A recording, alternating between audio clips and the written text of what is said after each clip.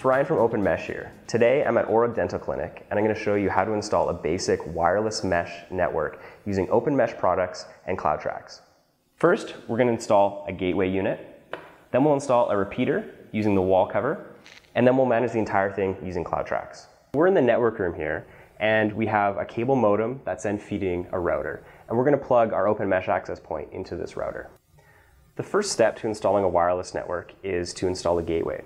A gateway unit is any open mesh access point that's connected directly to the internet. So for this stage, we're going to need an access point, a power pack, and a Cat5 cable.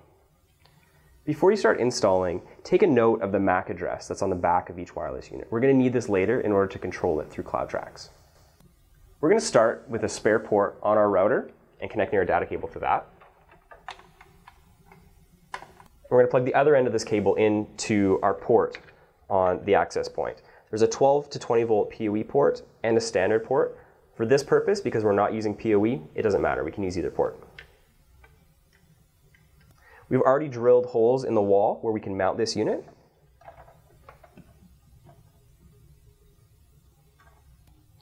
And then we connect power.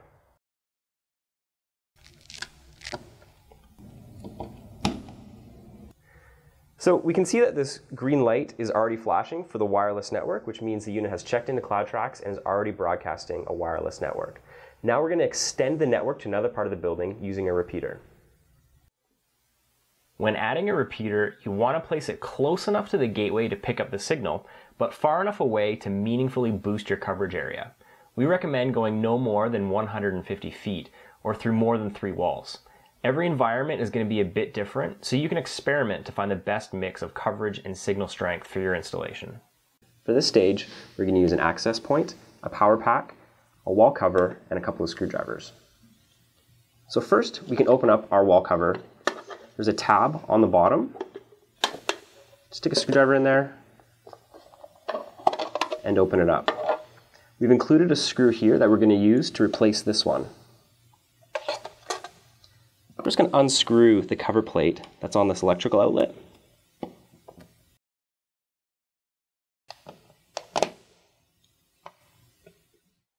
We're going to use the screw that's included with the wall cover. The wall cover can be mounted on a traditional outlet with a center mount screw, and it can also be mounted on a Decora style outlet with screws above and below, in which case we'd use the hole in the middle of the cover.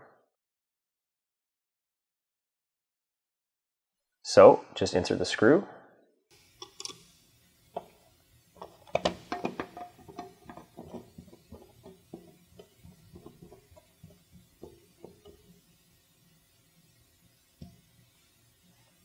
Now all we need to do is plug in the power pack and plug in our OM2P.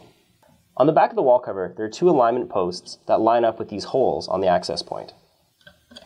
Simply clip it into place slide the cover on from the top and snap it into place. Now that we have our gateway and our repeater installed, we're going to manage our network using CloudTrax.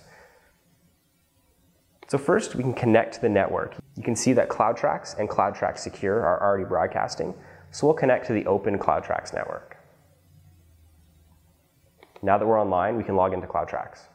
So now we're at cloudtrax.com and we're going to create a new account so we can manage our wireless network. On this page, we're going to enter a master login ID, a password, our email address, and our first name.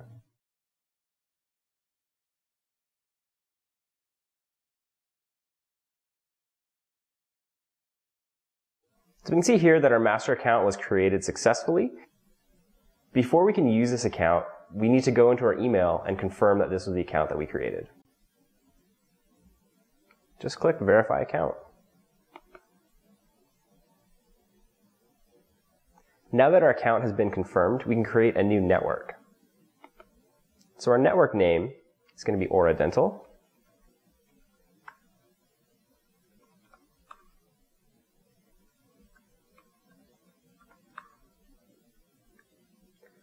For our network location, we need to enter the address of the actual office. This will help us place the units using Google Maps.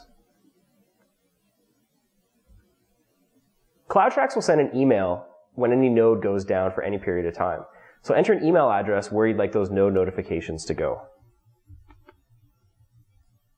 We're now editing the network Aura Dental. The first thing we're going to do is add our access points to this network. So click Add, Edit Nodes. You can see the satellite view to see the actual building. There's our dental office there. Just click on the map to add our node. So first, we're going to add the gateway and just give it a name. And then add the MAC address that you noted earlier. Now we can add our repeater unit.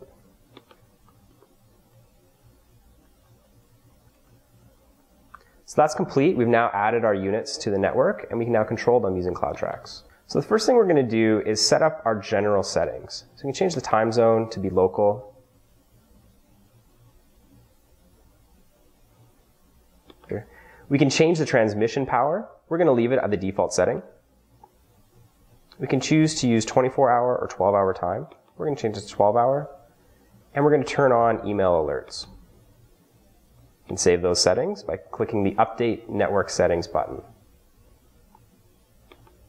Now we're going to control the individual SSIDs. These are the network names that are broadcasting for the network. So the first one is called CloudTrax. We're going to change that to say Aura Dental.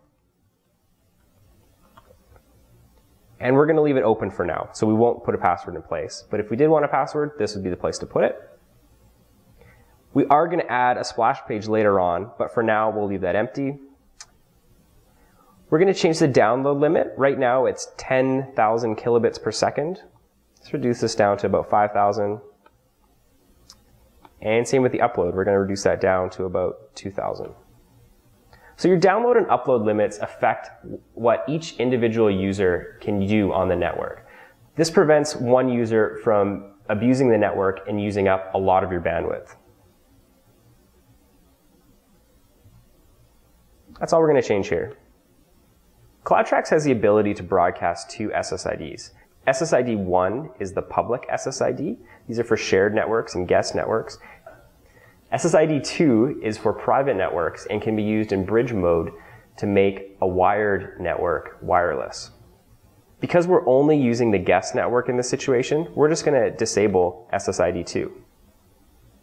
We're going to update those settings. Now we're going to set up the splash page. This can be fully edited and branded to fit the dental clinic.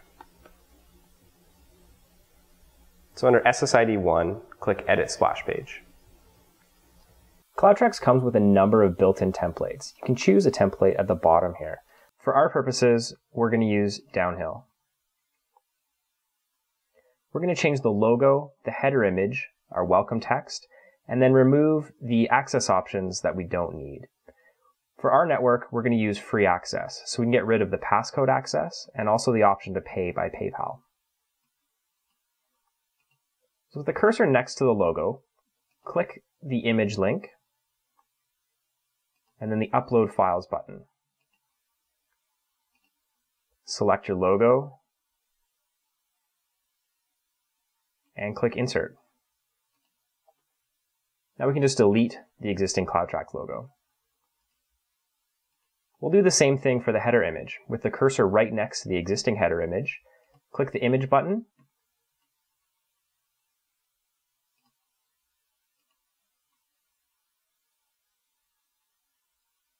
and insert it. We can get rid of that existing header image as well. The dollar sign gateway name box will be replaced with the gateway name. So that'll automatically change over to say Aura Dental Clinic. We can replace this text with some that we had copied. And then we'll delete the passcode access box as well as the purchase box. And that's it. We've completed our splash page. Now, just hit the save button and then close the window. To enable the splash page, simply click Enable, and then update the network settings.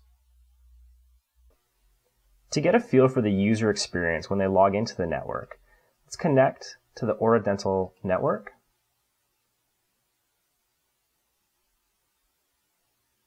And you'll see our splash page automatically pops up here. We can just click continue to go to the network. Now we're online, we can go anywhere we want to go. When a user connects on a mobile device, the splash page will automatically scale to fit their device. So you have one page that fits laptops, tablets, smartphones, and really any other device that connects to a network. So that's how you install a cloud-managed wireless mesh network using OpenMesh products and CloudTrax.